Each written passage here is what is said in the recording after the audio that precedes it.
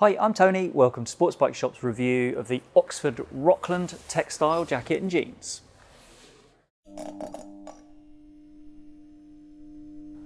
Oxford's Rockland textile jacket and trousers are both new for 2023 and they give us a really good three-in-one setup for good coverage on cold days, on wet days and also on hot days. The removable waterproof and thermal liners are what give it that flexibility, so let's run through what this combination has to offer. The shell is made from 600 denier polyester with even tougher polyester overlays at the shoulders and also at the elbows. It fastens with a chunky zip up the middle and because all the waterproofing's on the inside there's no need for the extra faff of a storm flap over the top of the zip. The collar is poppered and you get two choices to give you either a more relaxed or a close fit around the neck and it can also be hooked back out of the way to give you a little bit more airflow. Fit adjustment on the jacket is easy and there is loads of it. You get twin waist belts, there are poppers above and below each elbow, and then you get pull cords at the lower hem on the jacket. Venting for this is excellent. There's plenty of it. You get mesh panels at the chest, the torso, the forearms, and also on the back. They're really big and particularly effective because the waterproof liner is removable. So that means you can take it out. You get those large mesh sections that are flowing lots of air through to the inside. The cuffs on the jacket are really simple Velcro closures. They gave me room to easily fit a pair of winter gloves on the inside. That's how I prefer to ride with my gloves on the inside, but I also managed to get the gloves over the top with no trouble when I checked that out.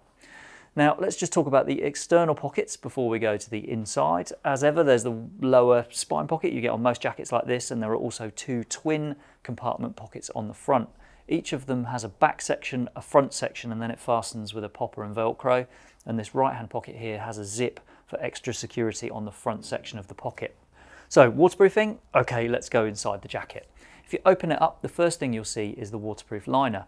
It's made from Oxford's Dry2Dry material and it's rated to 8,000 millimeters for waterproofing. That means it's lab tested to resist an 8 meter column of water. You can take that layer out of the jacket, which will make life more comfortable in higher temperatures, especially if you also open up the vents on the outside of the jacket. There's a thermal liner inside the waterproof liner and that's also removable. Behind that thermal liner is then the mesh liner that houses the armour. Shoulder and elbow armour is fitted as standard with this jacket, which meets the basic level 1 of the CE impact protection standard. There's a pocket for a back protector as well, but that's an optional extra. It's £22 to buy the one that meets the basic level 1 of the CE standard, or it's £30 for the one that's tested to the higher level 2. Overall, the jacket meets a CE protection rating of AA, which is the middle of three levels available. Now, internal pockets, there are three, but you'll only ever have easy access to one at a time, as one's in the main shell, one's in the waterproof liner, and then the final one is in the thermal layer. There are matching Rockland trousers that you see here and they connect to the jacket via either a short zip on the outer jacket or a longer one that lives on the waterproof liner. Using that longer zip on the liner maximises your rain protection by making sure the waterproof lining can't ride up and leave a gap for water to get through. The trousers are very similar to the jacket in their construction. They've got the same outer materials, you've got a removable waterproof membrane and zip out thermal lining. You get generous vent panels on the thighs and there are also pockets at each hip. There's loads of room at the bottom for the ankles to go over boots, even chunky adventure boots when we tested that, which is really important on kit like this. The trousers come with braces as well, which reduces the chances of a gap opening up between the jacket and the trousers. There's knee and hip armour in the trousers, both of those meet the basic level 1 of the CE impact protection standard. And like the jacket, the trousers are AA rated overall under CE. There's a wide range of sizes for both the jacket and for the trousers. Both go from small up to 5XL. In the jacket that means 38 through to 52 inches at the chest and waist sizes range from 32 up to 46 inch. Leg length options are available in the grey and red colour scheme you see here. You can have short, regular or long. In the other colours that are available they come in just the regular inside leg. Okay, so here's what I think of the Rockland setup after spending a couple of hundred miles wearing it out on the road. It's comfortable to wear, it's very flexible in terms of the weather conditions it covers, and the price is pretty good considering the spec. For £450 you can get both jacket and jeans. It's 250 for the jacket, 200 for the trousers, and £450 with that you really get the jacket alone on some of the more premium brands. This doesn't match up to those higher end brands on quality, but it is pretty damn good for the money. I wore it in cold weather and found it kept me warm with a windproof thermal base layer underneath and the thermal fitted. I found it a bit tricky to stow my phone and my wallet in a pocket. The one in the waterproof liner, I found that to be okay, but when I had the thermal liner zipped in, I had to unzip it to get it out of the way to be able to get to the pocket in the waterproof liner.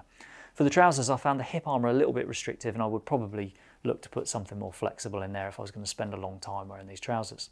Now this bit's mostly about aesthetics, but the Velcro straps that do up the trouser legs at the bottom are spaced quite far apart and that meant some of the material billowed out and looked a bit weird.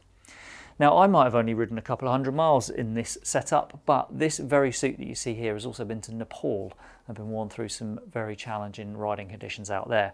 One of our external reviewers, David, he did 1200 miles in this kit on a Royal Enfield Himalayan, and he also wore it for some very rainy sessions here in the UK when he got back from Nepal.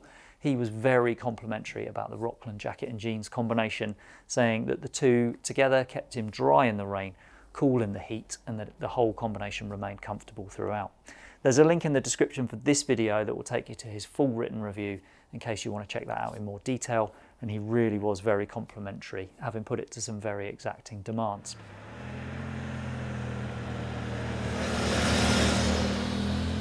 I hope that tells you everything you wanted to know about the Oxford Rockland textile jacket and trousers. But as ever, if there's anything you'd like to ask or to add, then please pop a comment below. Thanks for watching.